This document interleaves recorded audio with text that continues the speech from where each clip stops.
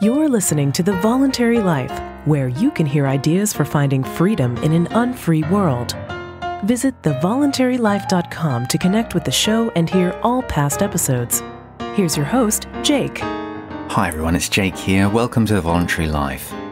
In this episode, I want to share some really interesting research with you about how the news can actually make you more stupid. Following the news and politics and current events can increase your stupidity. I thought this is a really interesting piece of research, particularly because I always used to feel that it was almost a responsibility to myself to stay well informed, follow current events, follow the news and political debates, and make sure that I'm a well informed, well rounded person. So I used to follow the news. I was kind of a news addict. I would wake up to the news on the radio every morning, which is a horrible way to wake up. And I've spoken about how I've kind of changed my media diet many times on the past on this podcast, but in this episode, I wanted to share with you some really interesting research that provides some empirical evidence for some of the things that I've said about the news. I found out about this research in an article written by Matt Ridley. He's the author of a book called The Rational Optimist, which I've reviewed previously on this podcast, and I'll put a link to that in the show notes. And I'll also put a link to the article describing this research by Matt Ridley in the show notes too. So Matt Ridley says, Two years ago, a group of Dutch researchers asked 26,492 people in 24 countries a simple question. Over the past 20 years, has the proportion of the world population that lives in extreme poverty, number one, increased by 50%? Number two, increased by 25%.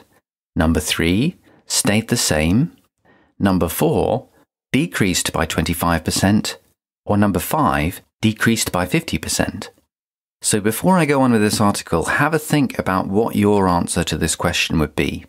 The question was over the past 20 years, has the proportion of the world population that lives in extreme poverty increased by 50%, increased by 25%, stayed the same, decreased by 25%, or decreased by 50%? So there's five options. And here's how Matt Ridley describes the results of that survey.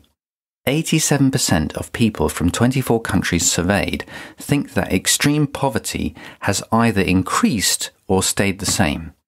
Only 1% got the answer right, which is that it has decreased by 50%. The United Nations Millennium Development Goal of halving global poverty by 2015 was met five years early. As the late Swedish statistician Hans Rosling pointed out with a similar survey, this suggests people know less about the human world than chimpanzees do. Because if you had written down those five options on five bananas and thrown them to a chimp, it would have had a 20% chance of picking up the right banana. A random guess would do 20 times as well as a human. As the historian of science Daniel Boorstin once put it, the greatest obstacle to discovery is not ignorance, it is the illusion of knowledge. So I thought that was a fascinating bit of research and really interesting that 1% of people got this right way worse than you would expect if people were just randomly guessing. So there's a systematic bias in people's view of the world that is preventing them from understanding one of the most incredible things going on in our own lifetimes this reduction in global poverty. And people can't see it because they have a systematic negative bias in terms of the way that they view the world.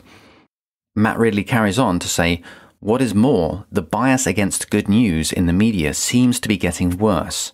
In 2011, the American academic Kalev Leetaru employed a computer to do sentiment mining on certain news outlets over 30 years, counting the number of positive versus negative words. He found a steady near linear march towards negativity. So, what is going on here with this bias towards bad news? Well, Matt Ridley offers some explanations in this article, and I think they're really interesting ones. And the answer is not that the media is somehow duping people or pushing a bad news agenda on people. In a way, the answer is worse than that, and it is that we love bad news. Here's how Matt Ridley puts it This is a human susceptibility and one that is open to exploitation. Even while saying that they would prefer good news, subjects in a subtle psychology experiment in Canada who were told to choose to read a newspaper article while waiting for the experiment to begin, in fact, chose stories with a negative tone corruption, setbacks, hypocrisy, and so on, rather than a neutral or positive stories.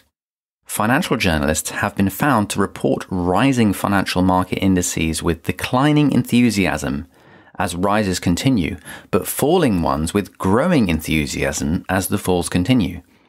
As the Financial Times columnist John Authers said, we are far more scared of encouraging readers to buy and ushering them into a loss than we are of urging them to be cautious and leading them to miss out on a gain.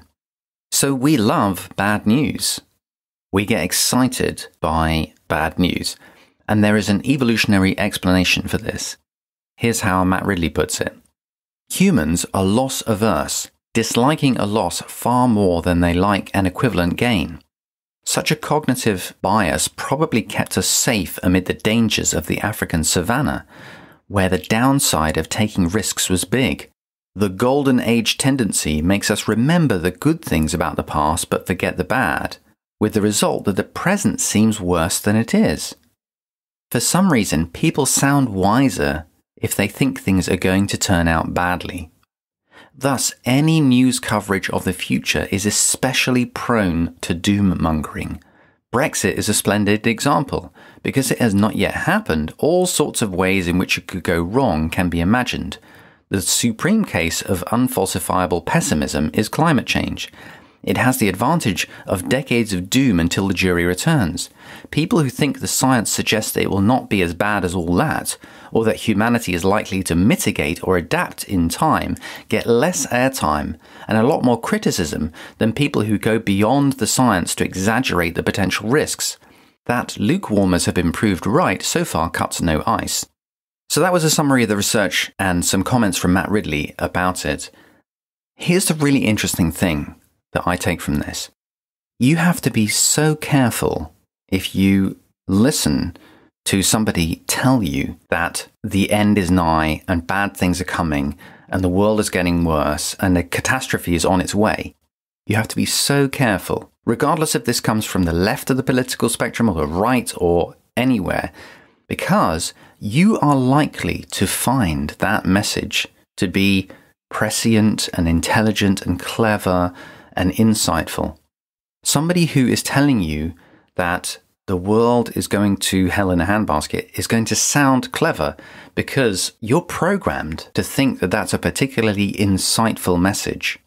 Whereas somebody who's telling you that things are getting better, that we're living in an incredible time of increased well being for humanity, that message is going to sound like a ridiculously optimistic and naive and shallow view that doesn't take into account all the terrible things that are happening. And the interesting thing about it is that that bias is so systematic that it actually means that it's very hard to get an objective view of what's happening in the world. And that bias leads to the news media serving that bias by providing a constant flow of negative stories constant flow of anecdotes about chaos and death and destruction, pessimists and doommongers always sound clever. Here are some of the things that I take from all this research in terms of how I can apply this in my own life. Obviously, there are major problems in the world.